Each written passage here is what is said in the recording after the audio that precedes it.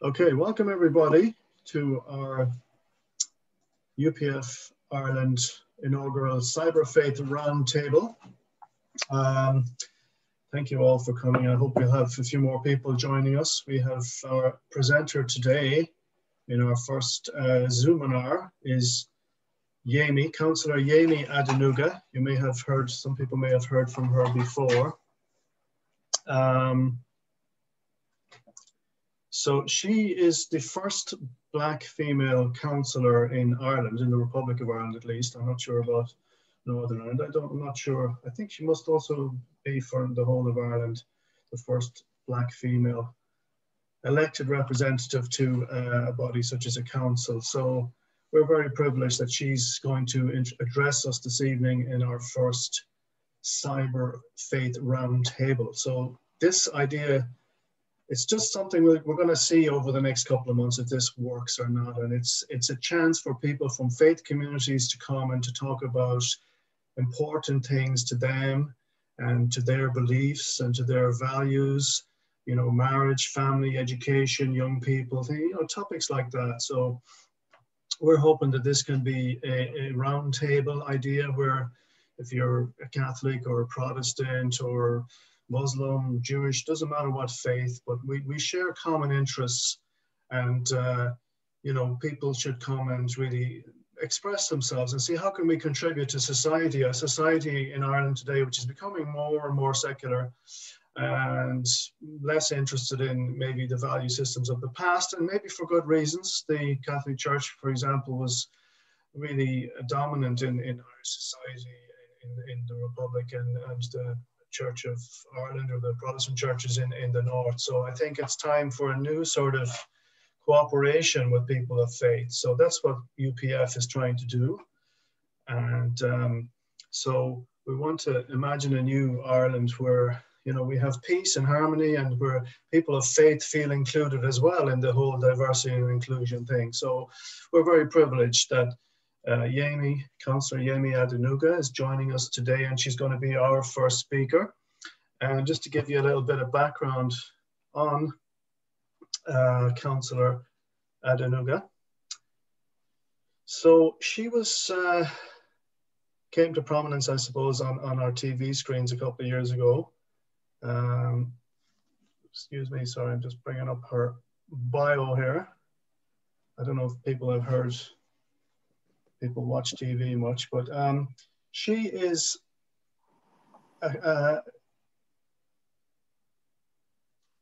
she, she talks in her bio here about energy and motion, which is a leadership powerhouse of ideas. And uh, it, it kind of takes on different caps at different times. And she says it's, um, she likes, she invests in people. She likes to build people is, is what she says. And uh, her story is one of determination, courage, and perseverance. She was born and raised in a, a, a polyamorous house where her father had seven wives and 27 children. And she's number 16 in the uh, family in terms of the children. Her mother was the last of the seven wives with six biological daughters, four stepdaughters, and no son. Her mother raised 10 girls and was told by her husband's family that the, the, the 10 girls would never equal one boy, and that they would amount to nothing, be nobodies who would end up on the streets of Lagos as prostitutes. Yemi was only 13 years old when she heard those words. Those words became the motivation for Yemi's determination to be somebody. Um, I, I, I think we've got some people waiting to get in there. Can you see them?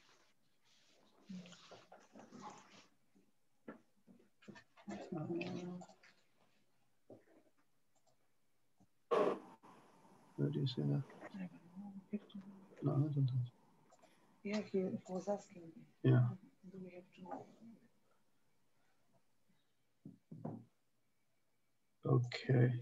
So um, I think we have a few people just waiting to get in there. Apologies for my admit all. Everyone in? Everybody in? Um, I think we have a few people just waiting to get in there. Yeah. Apologies for my admit all. Everyone in? Everybody in? Okay. Yeah. Thank you all for joining us this evening. We're just waiting for Councillor Yemi Adenuga to um, to join us. So I was reading a little biography of Yemi's story. And um, yeah, so just to let you know as well, we're recording this tonight so we can um, view it on YouTube in the future. This is our first Cyber Faith Roundtable and um, a, bi-monthly initiative so Yemi's going to be, very privileged to have her as our first speaker this evening and just waiting for her to come in. So while I'm waiting for her to join us, we um, asked, or I, have done a little biography here. So um, Yemi believes that nobody has the right to tell anybody that they cannot be somebody and that anybody who is determined to be somebody can be. Against all odds, she turned the words of her father's family around and made a success of her life with nothing but a dream to be somebody, a determination to discover her purpose, and an openness to embrace possibilities. Yemi built valuable life skills, learned to recognize, take, and use opportunities well, and is now paying it forward through her people building programs that change lives across the globe. So as I said before, we had our last couple of people joining us there, and sorry for my slowness on the controls tonight, but um, she's the first Black female councillor to be, our uh, public representative to be elected in um, Ireland, in the Republic at least, I think also in, in the North. So we're very privileged that she's going to address us tonight. This is a forum for people of faith who feel they want to contribute to society Oftentimes, people of different faiths feel left out in society today. They feel they don't have a contribution to make, or that their message about God, about family, about true love, about um, character education, that, that, that that's not important in our new secular society. So we're in UPF, we want to be a place that can stand up for religious people, for people of faith, and give them a forum and give them a voice. So I hope that you'll all, and I really thank you so much for coming tonight, and that we can every two months see how this initiative goes. This Cyber Faith Roundtable. Tried to have a different speaker. If you have a topic that you're passionate about, that you would like to bring to our um, roundtable, please tell me, and we can put you down for our bi-monthly event. Um, it's just an hour and we'll have a question and answer session. So please listen to the speaker tonight and prepare your question and hopefully that will draw out some interesting responses. We want to be a little bit sort of inquisitorial I... without being uh, too kind of controversial. Sorry, Eli? Colin, um, uh, are you seeing people that are asking to get in or that are waiting? No, I think everyone is in now because I went to admit all because Miriam said she was looking. Yeah, but I think also there's is the Facebook link a live stream? Yeah, you put a Facebook Tinko's link doing in the that. Chat. Tinko. Okay. So I've got um, three, six, nine people who have admitted, but I don't have any more admit requests. So I, I don't know.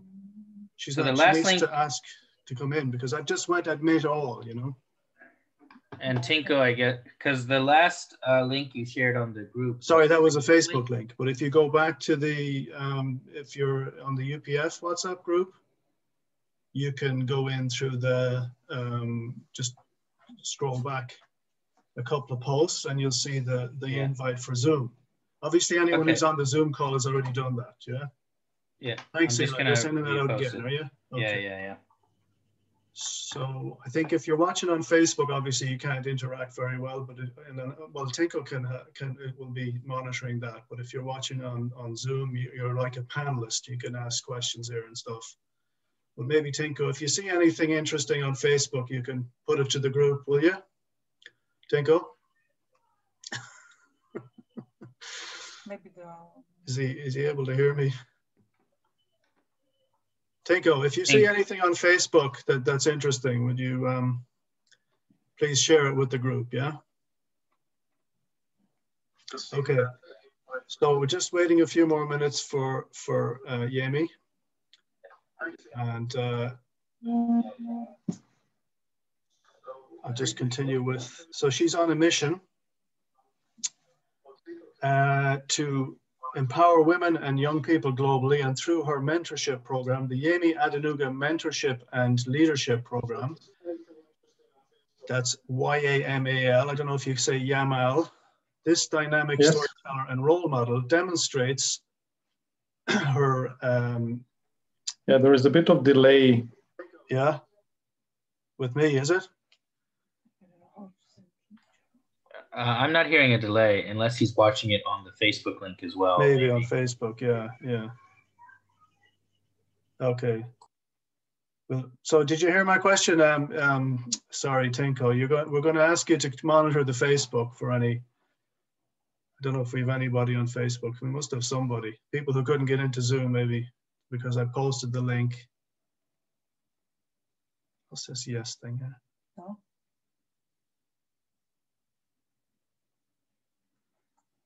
Okay. So her motto in life is what is worth doing is worth doing well. And she's risen through adversity and challenges, breaking barriers and making history along the way. As a history maker, Yemi is the first female presenter to present a program on the first private radio station in Nigeria, Ray Power 100 FM, uh, the director and producer of the first program ever to be aired on the first private television station in Nigeria, Africa Independent Television. And the first ever black female public representative to be elected in the Republic of Ireland, and the first migrant councillor to be elected into Meath County Council.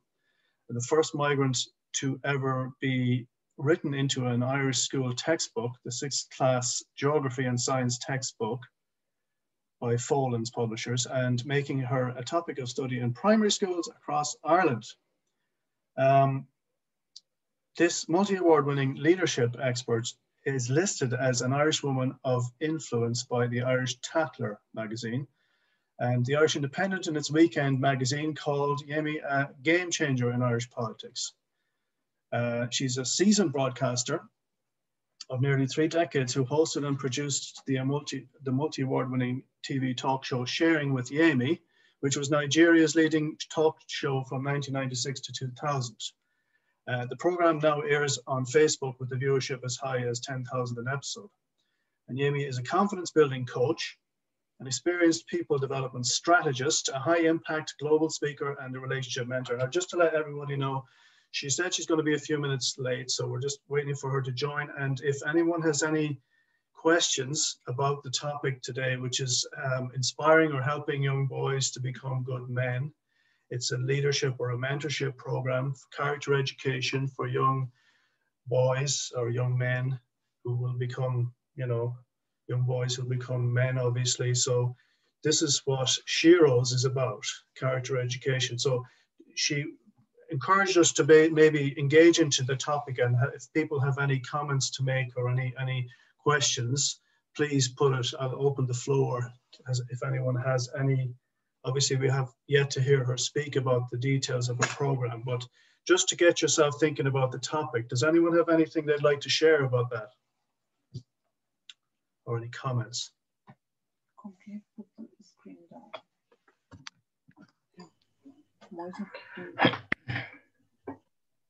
Uh, well, I would just say while we're waiting, I, th- I think the idea of mm. focusing on, you know, reaching young men, especially in kind of like the Facebook. modern world. Oh, do I have a delay there, Colin? Yeah, no, I'm listening. Sorry, Vienna's just said she's in the waiting room. I don't know, is that on Facebook or on, on the Zoom call? It might be on the Zoom call because I don't think there's a waiting room on Facebook. Yeah, where's the waiting? Where's the waiting room? Yeah, where is it? There isn't a way. Maybe if you just. I've admitted everybody. Just do it again. Mm-hmm. Okay. Well, I can't do it again. I need to send her the link again. Just bear with me one sec. Okay. Yeah, carry on, Eli. Sorry, what were you saying? Uh, I was just saying, you know, I, I, very much when I heard about this program she's working on, mm-hmm. um, I just think it's very interesting to focus on on young men because I think it's it's kind of um, I don't want to say completely unique, but you know, there's a tendency where mm-hmm. people focus, you know, in history, it's always, um, you know, a lot of patriarchal patriarchal countries, for example, it's like, oh, the boys can do whatever they want, Mm. but then you know the women have to be trained or restricted, or they have to prepare for marriage, and it's it's historically it's been very unbalanced in in that regard, and so you know obviously there's a backlash in Western culture. You know, it's everyone should just do whatever they want, but that doesn't seem to work either, right? Um, and it just leads to a lot of kind of unhealthy relationships and stuff. So I think that's what I um, that's what I thought was just very interesting, an idea that you know, focusing on educating young men and, and giving young men encouragement and mentorship is is just kind of a, a very good way to try to balance that. Um, so that's all. It's just you asked for comments, so that's kind of Sure, what I've been thinking yeah. since I heard about it. So I'd like to say hi to everybody. Uh, we're just waiting for Yemi. I think she's here now. Yemi, are you here? Can you hear us? She's not in the call yet. I just admitted her, I think. okay, I'm admitting her again. Sorry, I mustn't have done it right.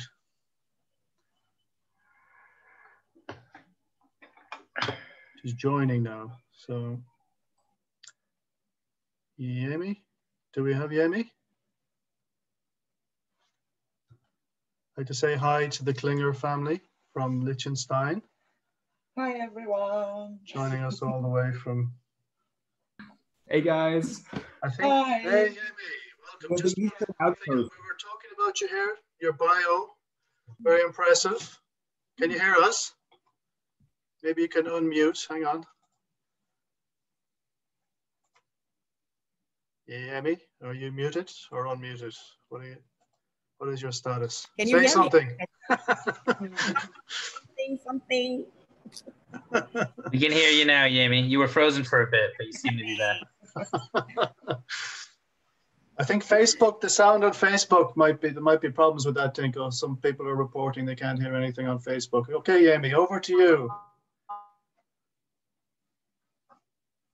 She's frozen, freezing a little bit there. Oh, Okay, she's back. Okay. but Yemi. everybody can hear me, yes? Yeah, Can you hear me? Yes. yes. Can everybody hear me? I don't know. Maybe I'll use my phone because it seems like the laptop. Yeah. Okay, I'll do that. I'll, re- I'll disconnect and then use my phone. Sometimes the phone's better. No, we can hear you. We can hear you. It's We can all hear you now. Yeah, Oh, all right. She'll come back on the phone. So you'll have to let her back in, Colin. She'll go into the waiting room okay. All right, so just, um, I'll wait for her to come back in. Yeah, I think young people today, maybe we, our men in particular, they seem to be not so, not so popular in society. I think the women would probably disagree. In the No. past, it was the other way around, was it? What do you mean popular?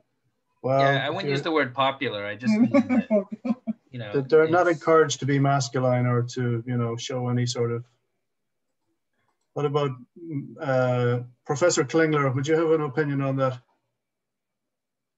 Mm, I think I think that concept is changing, yeah uh, and I think it's it's it's a question of of maybe sometimes very external uh, influences, but I think the truth of the matter is there is you know we were we were made as as men and women, and um, and and I think that's a good starting point, generally speaking. yeah and if you try to see this as, as an equal uh, Right. i think that's even a better starting point sure sure so maybe things are getting more equal maybe that's a good thing it's not that men are being encouraged to not to be men anymore it's just that there things are getting more balanced nowadays is it more opportunities for both yeah if you look at opportunities and uh, Mm. i think that's definitely the case if it's always executed in a in a good way that's another question i suppose Yeah, yeah. What about Matthias? Would you have an opinion on that? Um, yeah, just let boys be boys and girls be girls. Sorry, I I meant to. Sorry, what was that, Stefan? Oh, Matthias? okay. I was just I am muted. Hold on a second. We can hear you. We can hear you. Oh, you can hear me. Okay, Yeah. brilliant. Yeah, I was just saying, let boys be boys and girls be girls, and don't make them try to be something they're not. Yeah. fundamentally. Okay, Yemi, uh, is she trying to get in again? Do we have her?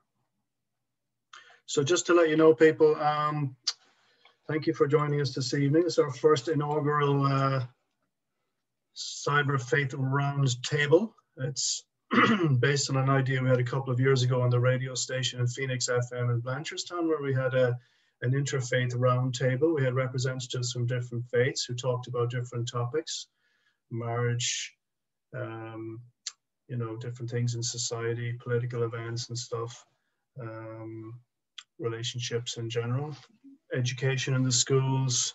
Today we're talking about character education and uh, the Sheroes project with uh, Yemi Adenuga, Councillor Adenuga. She's just changing device at the moment, but um, yeah, so in next month or in the next session in two months' time is Bruno Maris, and he's going to talk to us about his project that he's doing. Bruno, would you like to give us a little preview of what you're going to be talking about? Can you hear me, Bruno? Just unmute him.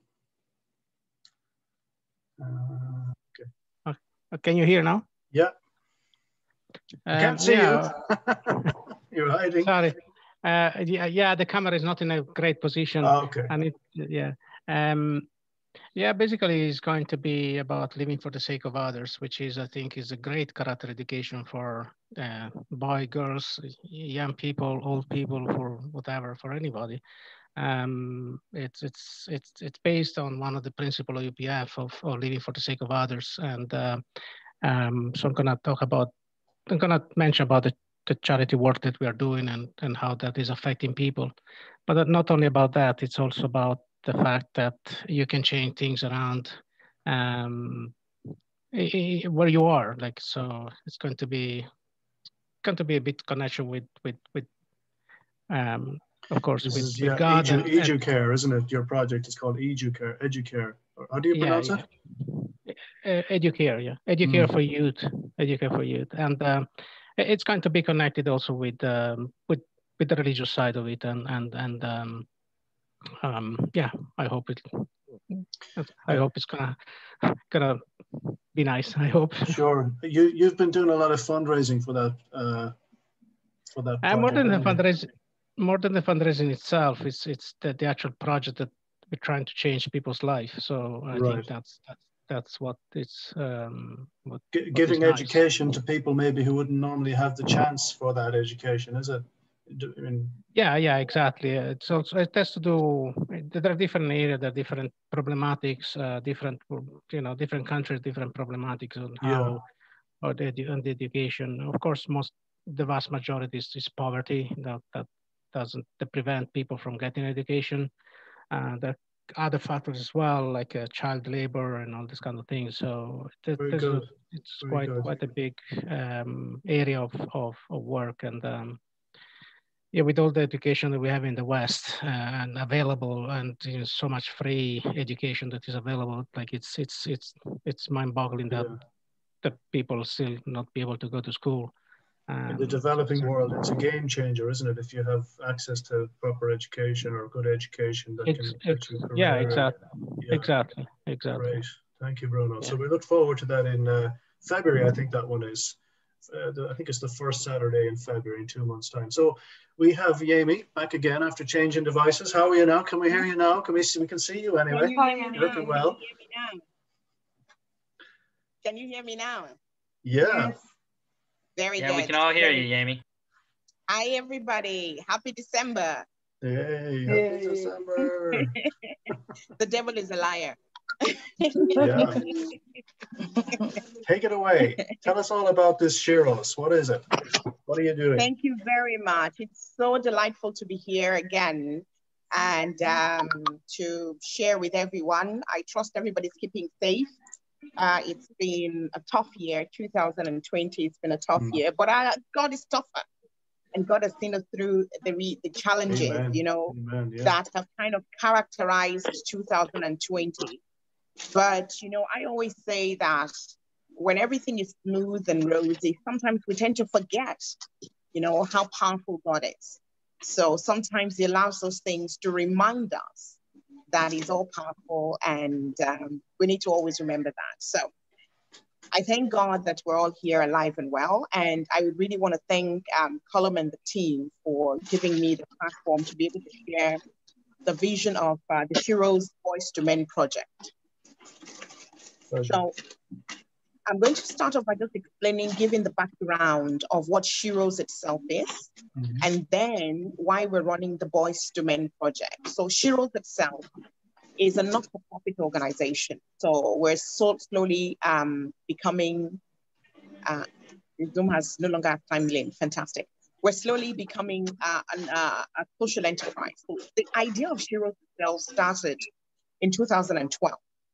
And at the time, it was just trying to encourage women from migrant, migrant background to be a bit more supportive of themselves. Um, a number of the women who recognized me, some of them African, especially those who were Nigerian, who remembered me from back in Nigeria. I used to work in the media and television. They remembered me from there. So they would come to me and share some of the challenges they were going through at the time most of them being that they were having difficulties with their husbands, as most of the women were here by themselves uh, in Ireland by themselves and raising the kids by themselves. Uh, so yes, the men were still in control. The men would ask them, where are you? What are you doing? You know, why are you home late? And the women would explain that they're working. So why are you closing so late? The men could not understand the system of Europe. And so they needed a place to share a safe space. And they remembered me from a television talk show I used to run back in Nigeria called Sharing with Yemi. And that talk show at the time, it ran from 1996 to the year 2003. And for the number of years, it was Nigeria's number one talk show on television. So we would talk then societal issues and, and discuss issues that challenged people's lives. So some of them remember me. That's why they came to me. And so what happened then was from one person who came and shared a difficulty and we were able to have a conversation about it. She brought another person and then they, they both brought two other people and then they brought other people and other people and the numbers just grew. And we started to think of ways. Take, I'm giving you as a mother. Uh, sorry, I'm just here. I don't know if somebody's talking to me. I'm hearing some talk in the background. Okay, so um, they started to uh, want to meet all the time, and we we've realized that this was a safe space for the women to come regularly to converse and to just pour out and share without being judged, without feeling out of place, and recognizing as well, feeling comforted in the fact that they weren't alone in that boat. Uh, so that's how Shiro started. And a couple of years later, for some of the women, the husbands started to come into the country. And some of the husbands couldn't handle the women they now met. So for a woman who had left Nigeria, let's, let's take, for example, a Nigerian woman. A Nigerian woman who had left Nigeria, who didn't have an education, who was perhaps a retailer before she left, um, who had come to Ireland, who from coming to those gatherings, the Sheroes gatherings, had become empowered. And one of the first things I did with the, with the women was to tell, tell them, go to school, go to school. You cannot, you can never ever buy the value that education gives you, even though you're paying for the education, but the value you get from it is just unquantifiable. So a number of them went to school and they became empowered and became stronger women. And so some of the men couldn't handle that. So by the time the men started to come into the country, there was an increase in the rates of domestic violence because they still wanted to be controlling.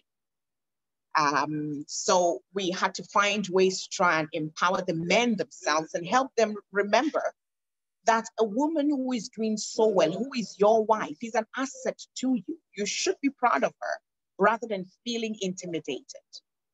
Uh, so that's how the Sheroes Women's Network started. Other projects started to come on board based on what the needs were.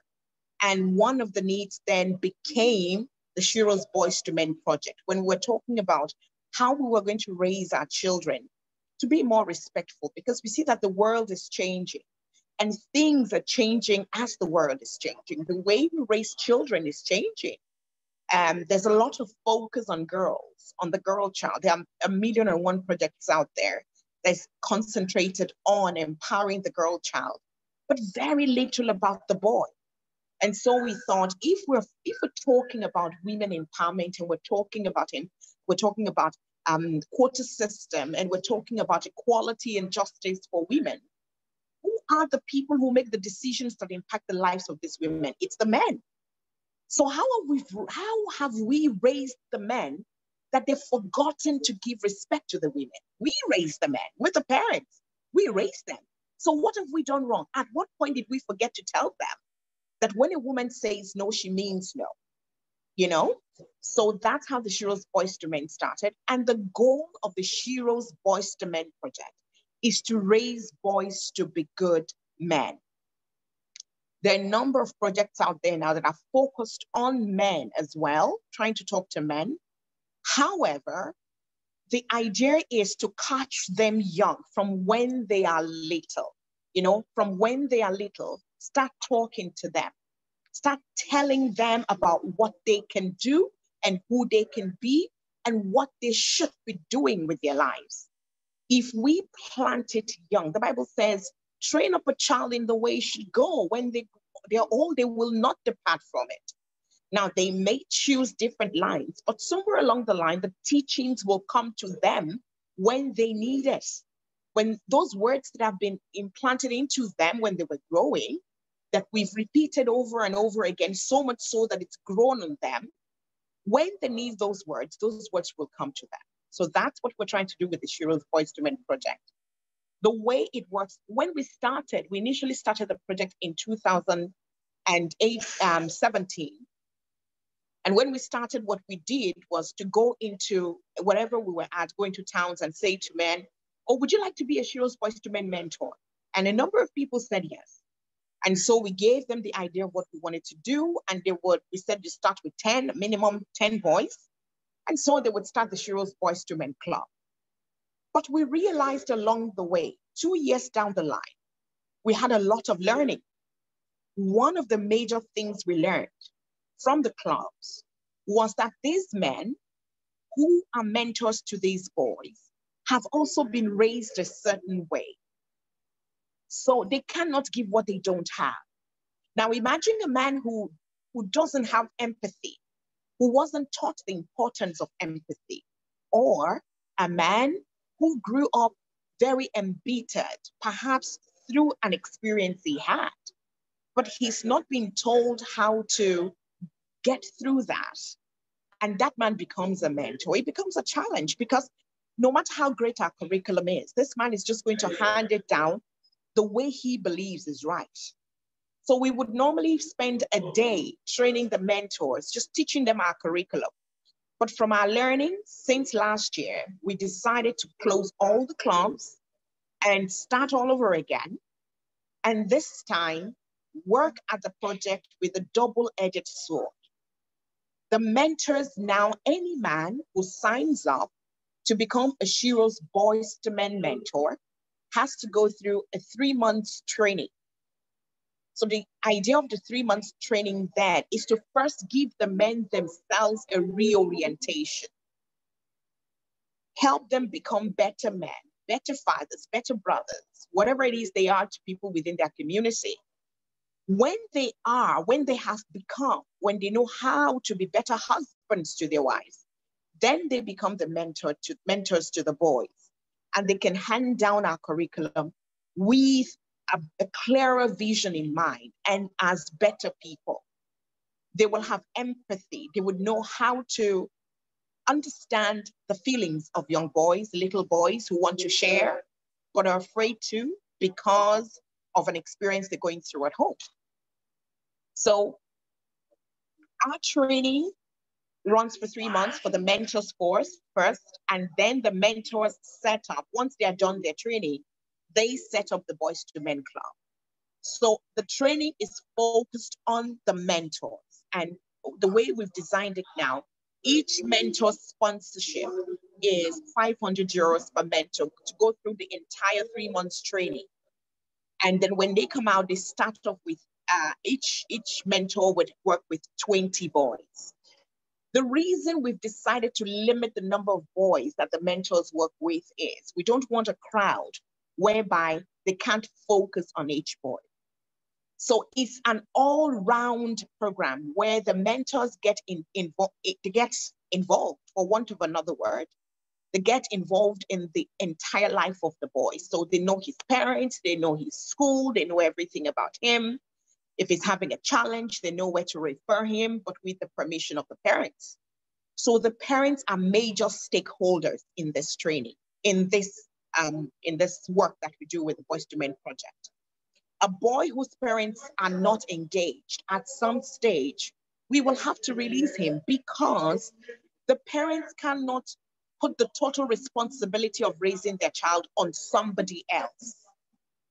That's why they're the parents. Whoever is going to do this work is supporting the work that they're doing. I find that a number of parents are so reliant on schools. When something happens, they tell their, they, they, they have a fight with the school if something goes wrong in the school and say, but that's why I sent him to school. At the end of the day, if that boy is a good boy, he is your good boy as a parent. If he's a bad boy, he's your bad boy, not the school's bad boy or the school's good boy. So part of it is to remind parents of their role, that they were the ones that the Bible handed the kids over to as an inheritance, as a treasure to be, to be guided, to be raised, to be groomed.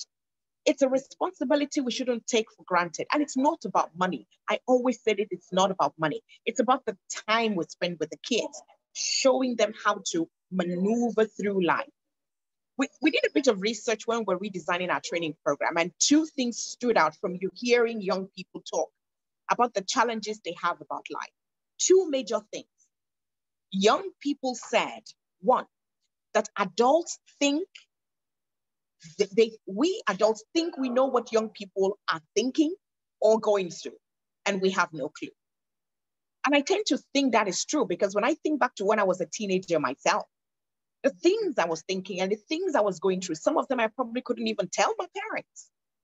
So if we remember that we were once young people and we had challenges and we were finding it difficult to tell, people, and now the world is even more complicated, all the more reason why we should help our young people have a safe space where they can talk. Because I tell you something for nothing. If we are not the ones, there's a vacuum, whether we like it or not, there's a vacuum in every young child's life. If we are not the ones filling that vacuum, somebody else is feeling it. The question is who is filling the vacuum?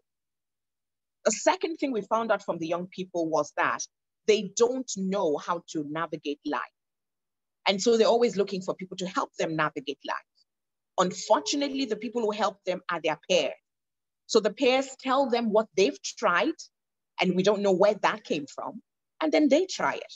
And at the end of the day, they're not better off for it. They're disadvantaged most of the time and they get hurt. So we need to help them realize that yes, life is a struggle, life is difficult, but they've got people who they can go to who can guide them the right way because they're always seeking guidance. So the Sheroes Boys to Men project, our goal is that every year we would have uh, we would be able to train to start or we're able to train.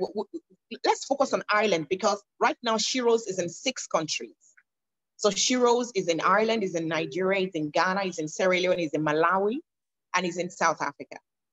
So our Sheroes Boys to Men project is very active in Ireland, in Nigeria, in, in South Africa, and in Malawi. But let's focus on Ireland. So to kick off the training, um, we want to uh, test stuff with 20 men from Meath. I am from Meath, I'm from Navan. So 20 men from Meath.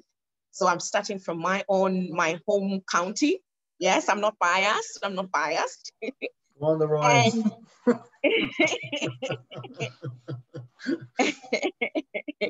so it's 20 mentors from Meath. We'll have at least one man from each town, each major town in Meath.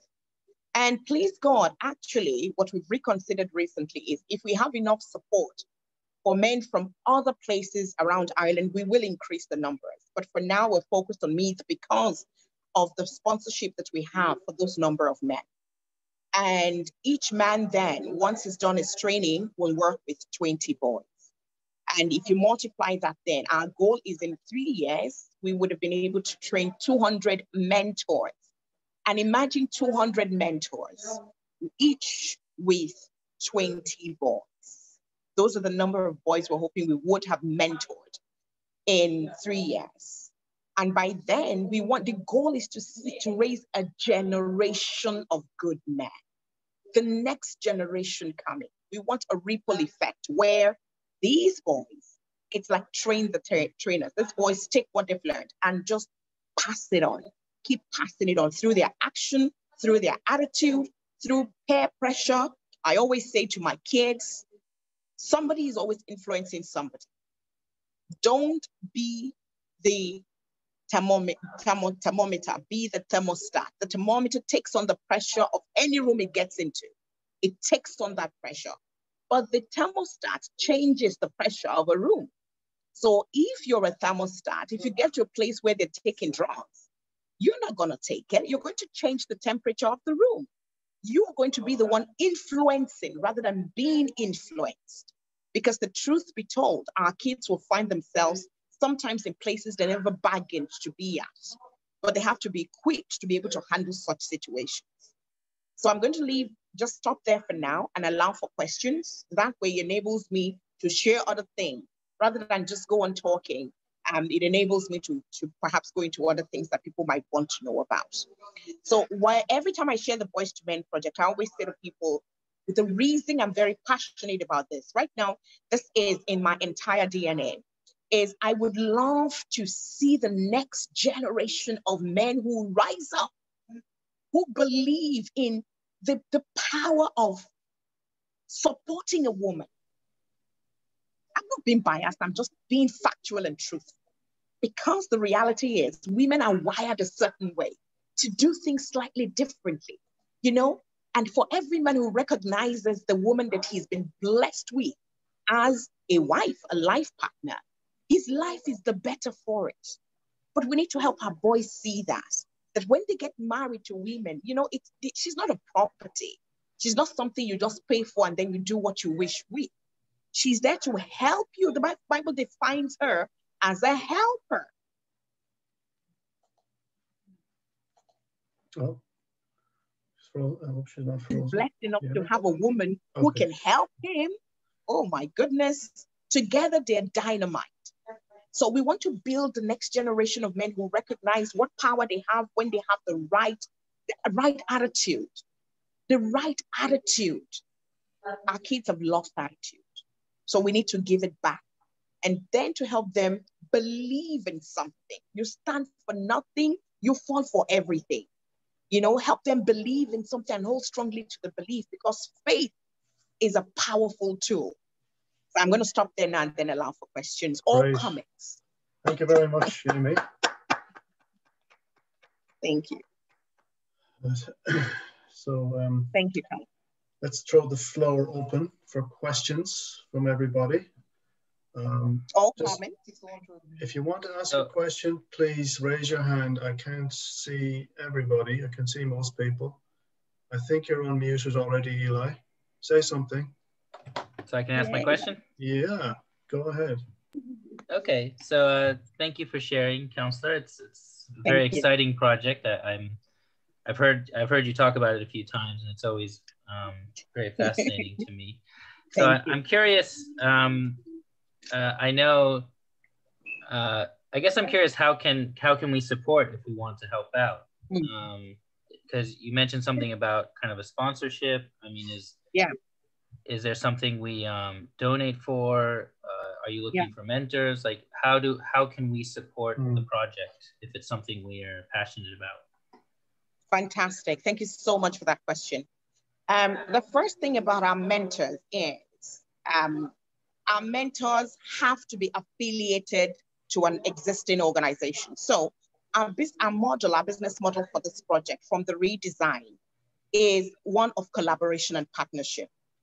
And the reason is when you have an existing organization, they also have their base and they provide the base then for the boys who become members of the Boys to Men Club. So anybody who's coming on to be a mentor, first of all, has to be affiliated with an existing organization. It could be a club, it could be a church, whatever it is, the group, so long as you have boys that within that area that you can mentor.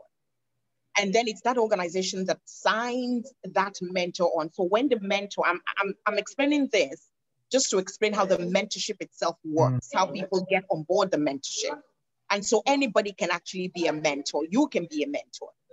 So when you're going to sign up to be a mentor, there are three, normally in Ireland, if you're going to work with kids, you have to go through Garda vetting. Mm. And once you do a Garda vetting, that's it, you're cleared. But I find that process flawed already from the very beginning of it. Because how can you tell if a, if a man is a pedophile just because he doesn't have a criminal record? The reason he doesn't have a record is because he's not been caught yet.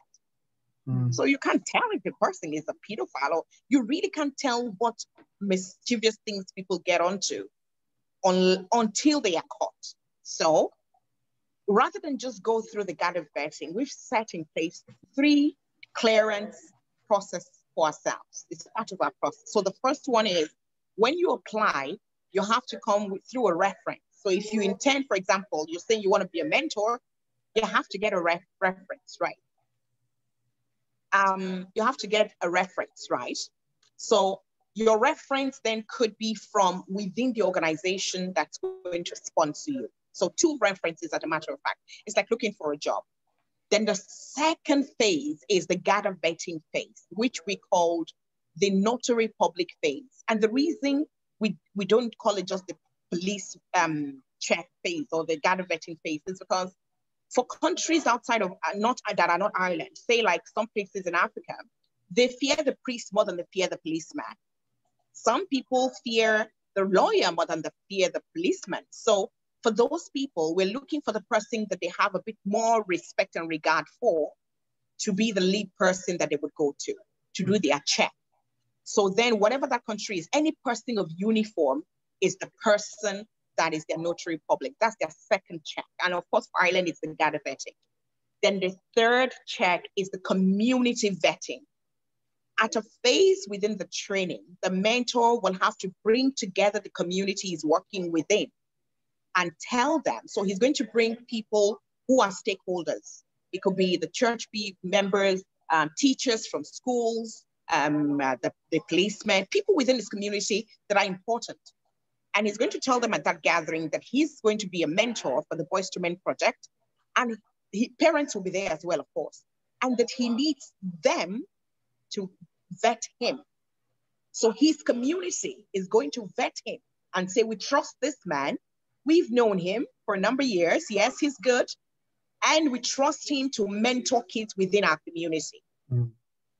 The reason we've decided to go through this line is because at the end of the day, the burden of responsibility is not just on Sheroes then. If anything goes wrong, God forbid, if anything goes wrong, people are not going to say, oh, he's a Sheroes mentor. He's our mentor because together we agreed that this man is good enough to mentor. So it's an entire community. So anybody who wants to be a mentor, that's the process. It's very simple and straightforward. Now, if you want to be a mentor, your organization that is sending you can sponsor you. They can pay for your 500 euros to come and be a mentor. Mm-hmm. And if you don't intend to be a mentor, if you want to sponsor a mentor within your community, you can do that as well. So to answer that second question of how can you support in terms of money, we have many mentors who people who wish to be mentors within different organizations, but you don't have the funding. So if you put 500 euros, for example, towards Sheroes, you're definitely sponsoring a mentor. And we will tell you where your mentor is and who you're sponsoring. You know, we just pick one for you and tell you this is the mentor you're sponsoring within this community. And if you want to get to know him, you'll be able to get to know him. Yeah. So I hope that answers your both questions. It does, yeah. Thank you. Thank you very much. So, um, and the I, more the more sponsorship we have, the more mentors we can take on board. The, the more I have a question. Have, I have a question. yes, please. Um, could you, would possible to share a little bit about the mentorship program itself? Uh, you mentioned how people are vetted to become mentor, but what yes. does the actual program of mentorship consist of? Like how, what kind of training do they go through? Like what kind of uh, things are taught in this uh, to, to these people that become mentors? Yeah, in the mentorship program. Content, okay, so each, yeah. yeah, yeah. So each week, uh, the, the various topics that are taught each week, right? Um, part of it is for them to, first of all, self-discovery. So they have to find themselves. There are a number of adults who actually don't know themselves. They don't know themselves. So the first part of the training is focused on a journey. It's a journey of self-discovery. So they're going to be discovering themselves. Then there's another part of the training. I, do, I don't want to mention the um, the modules. I don't want to talk about the modules yet. And the second part, but I'll tell you the phases. The second part then is confidence building. So one of the things we've discovered uh, is that a number of men, and I say this with all due respect, one of the challenges that they have, they call them laughing. One of the challenges that men have in struggling with be as either working with or working for or being with a woman who is powerful or a woman who is intelligent mm. is confidence, the struggle with confidence. And one of the things we're going to tr- work with the men is to help them see, not necessarily find, because while they're doing the self discovery, they will find themselves and find where their self esteem lies. But then for them to see their confidence, it's inbuilt, to see it and not be threatened by anything.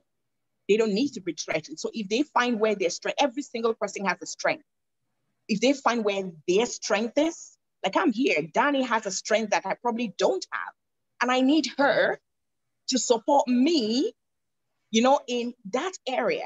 So it's helping each person see their strength and not feel threatened by somebody else's. So that's part of the training as well. And then another part of the training is helping them learn empathy and how to sympathize. That way they build emotions. A lot of our boys were raised without emotions. We told, we parents told the boys that they shouldn't cry. No, stop crying. Boys don't cry. And so they don't know how to express emotions. A lot of the boys bury so much in that the only way they know how to take it out is by getting physical and to get angry. And they want to take it out on something. And most times they end up taking it out on the people they love. So it's helping them find that place of emotion.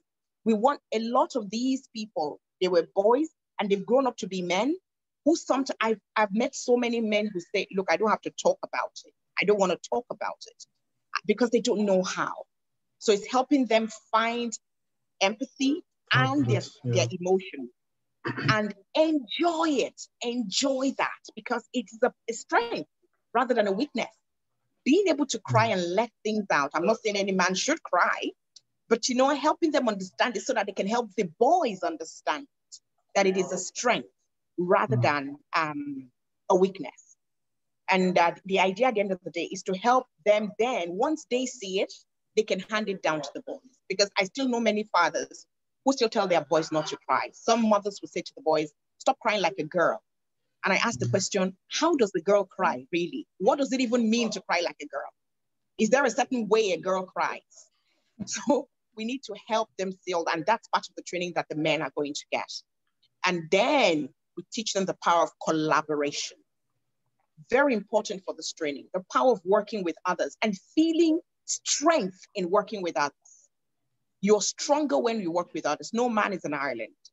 So everybody has a strength, but you're stronger, and then helping them identify opportunities in working with others and use it, not just identifying it, three key things. They identify the opportunity, they take the opportunity, and they use it well. You can identify an opportunity and not take it. You can take it and not use it well. So being able to use those three things as well, and then build an all-rounded man who can then hand that down to the boys. So I hope that helps to answer your question without necessarily mentioning the models. Yemi, I have a question. Uh, what uh, Yeah. age group are we talking about when you're dealing with uh, boys? What age? Would they be early teens or a bit older?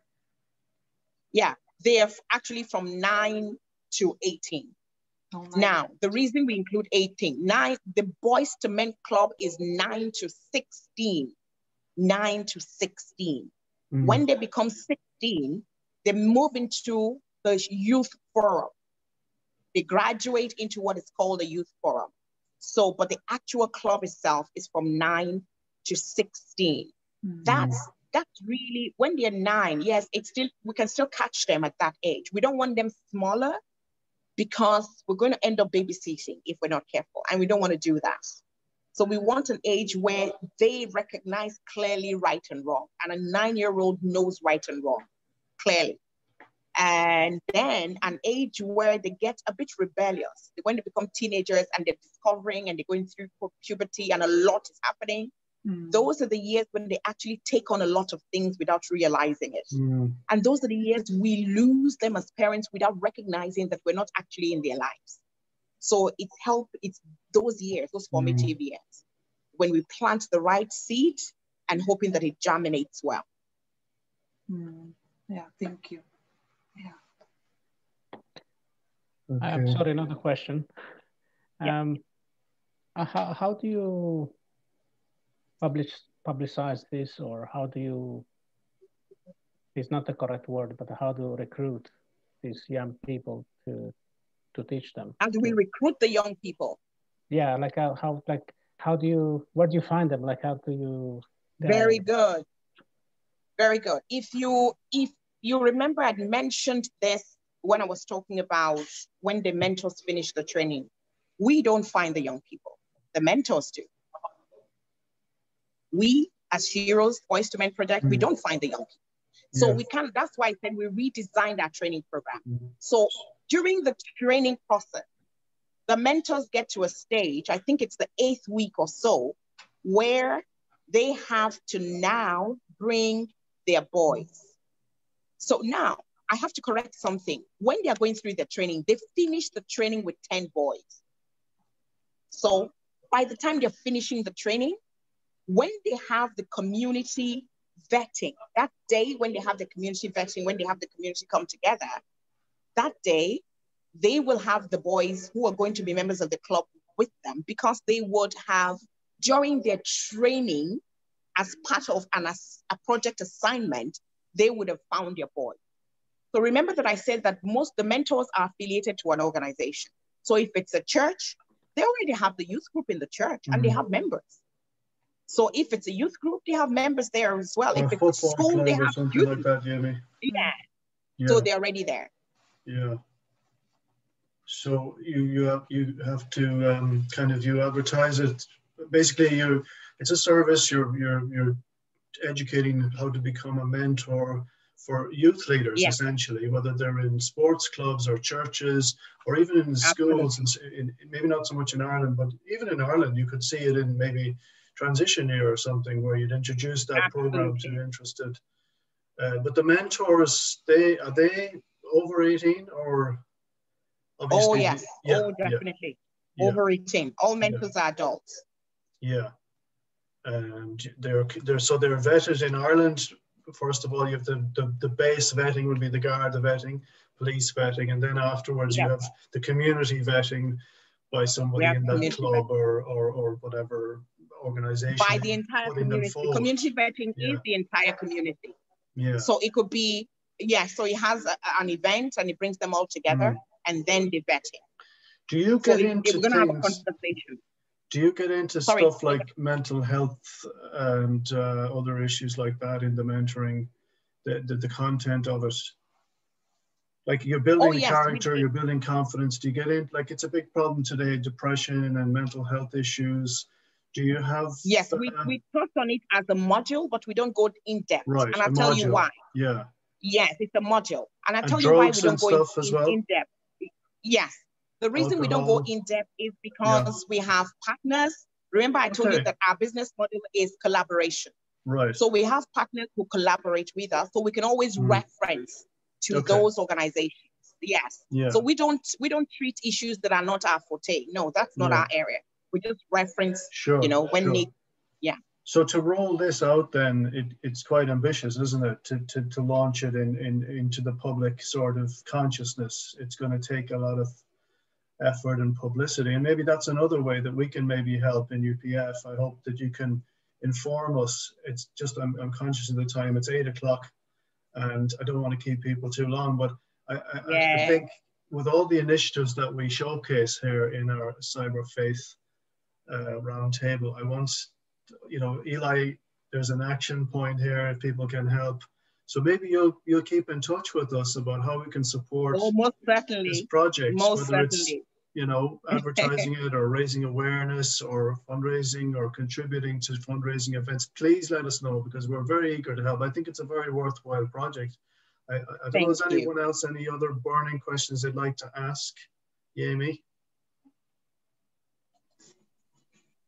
Comments or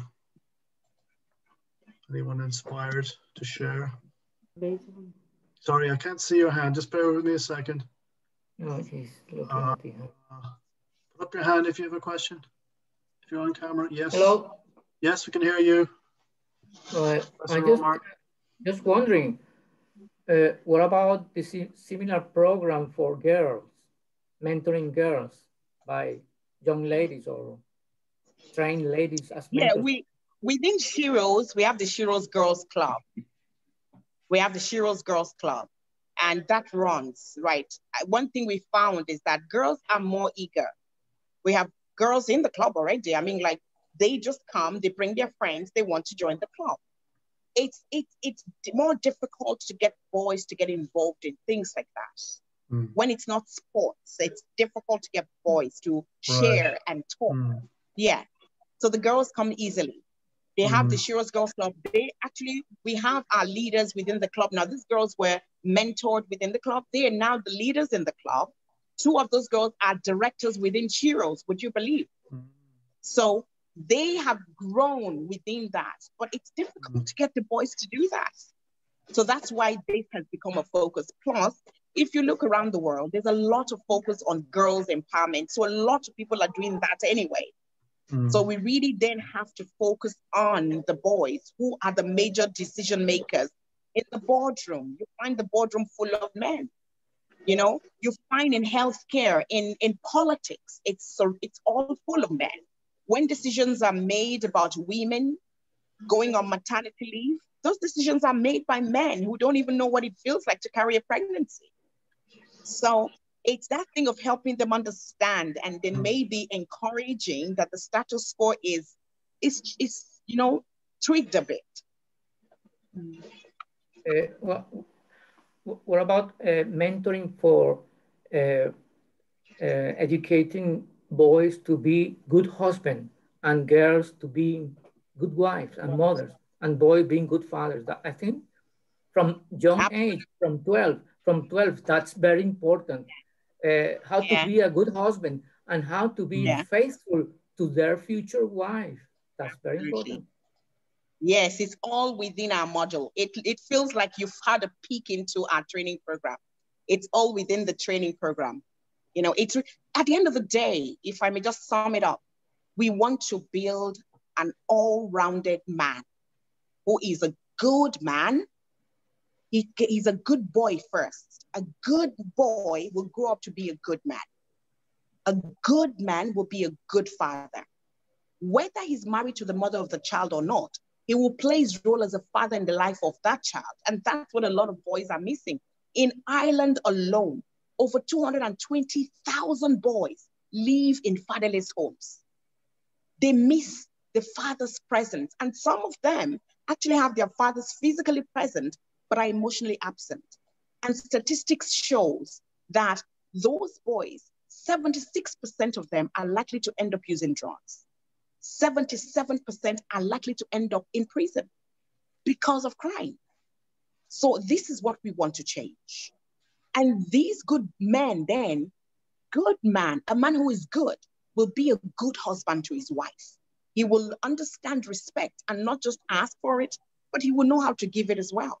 He will cherish what he has and recognize her as what she, the Bible calls her, a helper, and celebrate her when the need be. He will empower her mm. to even recognize him more as a husband. And then a good man will be a good colleague at work. You know, he will respect a woman who is his boss, an executive, you know? What about uh, so mentoring? All-rounded program. Last, last question. Mentoring sexual purity. Yeah. So, so conjugal fidelity to their future wife from 14 year old. You have to teach that to be, uh, to have fidelity to their future wife. And that has to do with, yeah. with uh, sexual purity. That's very important for future of society and for their future as leaders, true leaders. And true, true fathers and true husbands. yep, yeah. yep, absolutely. Now, I cannot tell you, I'll be very honest with you, I cannot mm. tell you that uh, sexual purity is in the model. But I can tell you that while we're talking about relationships, there is a guide towards respect for self and respect for other people's bodies. And that's where we get the chance to, to share, talk about sex and early sex and sex before marriage. But we're not going to go into the depth of it. The reason being, we don't want to, we don't want to sound religious.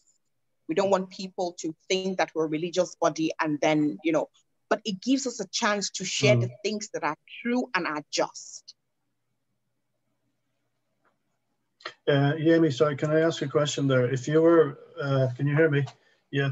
If you were yes, yeah, yeah. becoming a mentor from a particular church and we'll say abstinence education was very important in your church, yeah. I, I, I, take it you could, um, when you because you deliver, you go away and you become trained as a mentor and then you deliver that training within your church, right? Or your group, whichever group, yeah? So like you, you'd have your 10 or 15 or 20 people that you're mentoring. I think it's 10, you said, max. Yeah, so you they, could, they graduate could, with 10, yes. Yeah, but I, I, I take it you could change the uh, some of the modules a little bit. Like if abstinence was very important, you said that well, that not something you teach in the modules. Um, but I presume that there are certain things you could, uh, how would you say, not change, but uh, tweak or improvise or adapt. That's the word I'm looking for. Absolutely. I think uh, improvise is the right word mm. because from experience, right?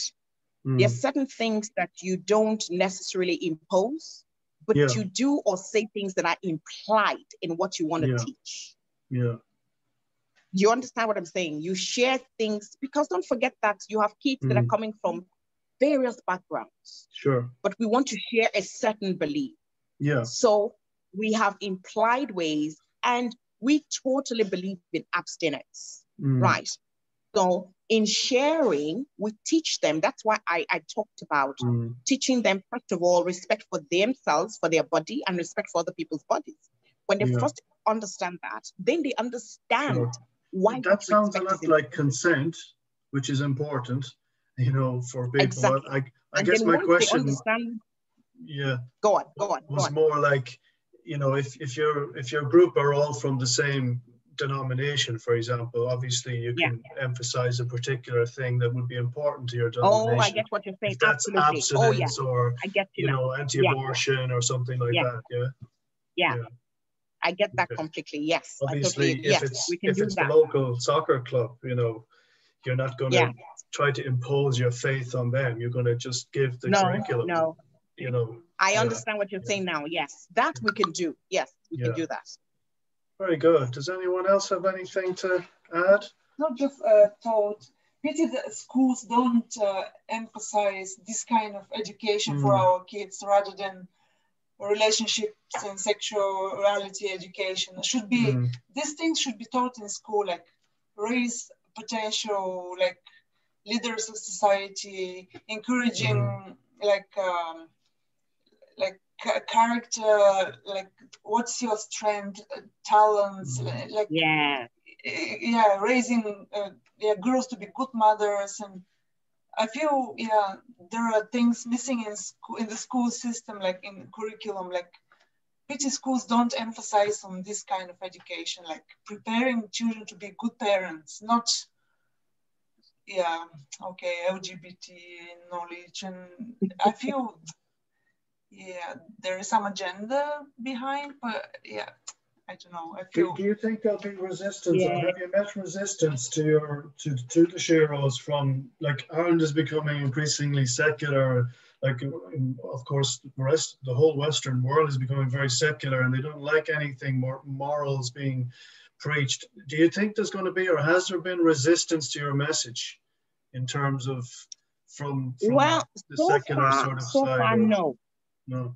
Yeah, so far, no resistance. Mm. And this is what I say, just uh, to go back to what Daddy said there. Um, you see, change is something that people will always kick against. Change, no matter what form it comes, people will kick against it.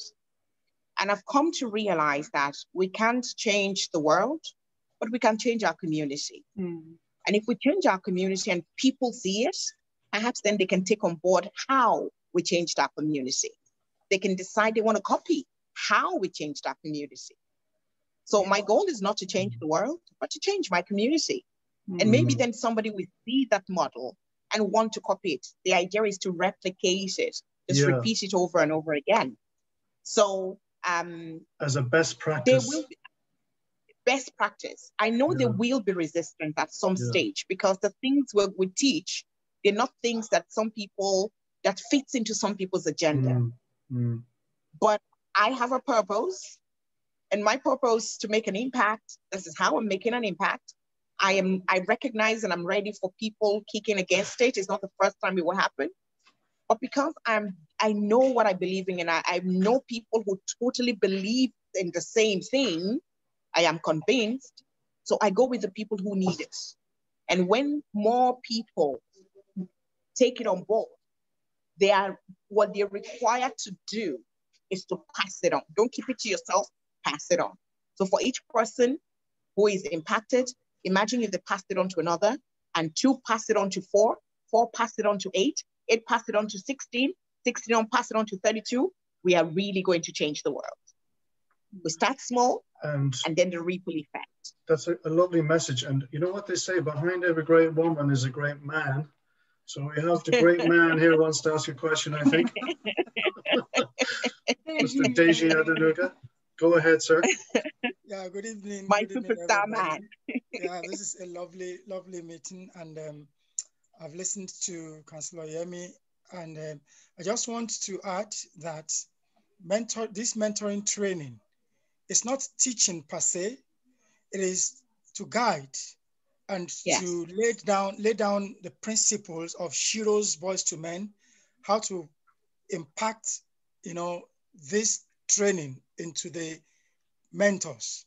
So we just we're just trying to say, I'm trying to say that it doesn't take away your religious background if you are a mentor. It will only add information to you in case you want to use your religious background to influence, to affect your own boys, your own mentees in your church, for example. The training is not going to stop you from uh, bringing in the teachings, the tenets of the church, of your organization. The mentoring does, uh, training does not take that away from you, but it's only going to tell you, it's only going to guide you how you can use what you have to help these young people. And again, uh, the, as, as a mentor yourself, these mentees are looking up to you for certain things, for certain guide in life. You know, the way Counselor said, the young people, they don't know how to, to navigate life. So they're also watching you, for example, Colm, you are mentoring a group of 10, ge- 10 boys. These boys looking at you alone can give them a lot of hope in life because of the kind of a person you are. Even when you have not opened your mouth, they're looking at you, they want to be like you. So the training is only going to guide you to use the tools that you have already. So there's no way it can uh, uh, uh, it can stop you. For example, if you want to help them along the line of abstinence, you already have tools to use to help them in that area. The mentoring training is not going to stop you from using that tool. It's only going to guide you how to use it effectively. Thank you. Thank you very much, Deji. Yeah. Yes. Um, so we have. Thank you, Ambassador Deji. Matthias, you have a question? Hi, hi. Um, Chancellor Adenuga, thank you so much for your message. Um, I want to make a kind of a compliment and, and really to commend you in a sense.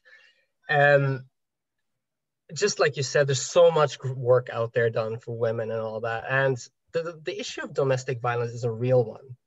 Well, all I hear is literally sending a helicopter and removing the woman from the house when, when the when the issue is is happening.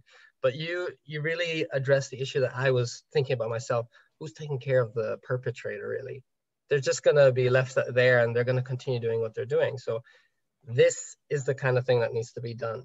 You need to resolve the problem from from its roots, not just you know remove dead leaves and all that, but really tackle that. And that for me is one of those things, just like many other issues that are around the world that get talk, talked about, like climate change. Now I know that you know there's somebody working on it, and I can just I can I can then turn to other matters and think and not have to worry about it because I know there's somebody working hard at it. Um, but yeah, thank you so much for your work, and I do wish all the, uh, the most success for you in your political endeavors as well. Thank you. Oh, thank you so much. Thank you for your kind words. I really appreciate that. Thank you very much. And you can be a mentor too. indeed, indeed. Thank you.